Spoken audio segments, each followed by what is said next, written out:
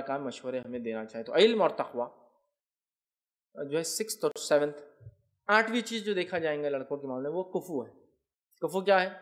عام طور سے کفو بولتے ہیں بولتے خاندان برابر ہونا، برادری برابر ہونا، یہ کفو نہیں ہے۔ بھول جائیے اس کو، بھول جائیے بھول جائیے بھول جائیے۔ میں کیوں کہہ رہا ہوں؟ بہت ساری بار لڑکیاں بڑی دیندار ہوتی ہے لیکن لڑکا ان کے مزاج کے مطابق نہیں کیا جاتا۔ لڑکی توحید پرست، دے دی جاتی مشرق کو، لڑکا ان کے برابر تو کفو کا لحاظ رکھے۔ لڑکی جیسی ہو ویسا لڑکا تلاش کرے۔ لڑکی آپ کی دیندار ہے، بے دین کو مت دیجیے نکاح کے اندر۔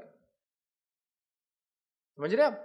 کفو کا لحاظ رکھے کفو خاندان نہیں، ہمارے پاس کفو بولے تو کیا رہتا؟ خاندان سیم ہونا۔ نہیں، کفو مطلب دینداری برابر ہونا۔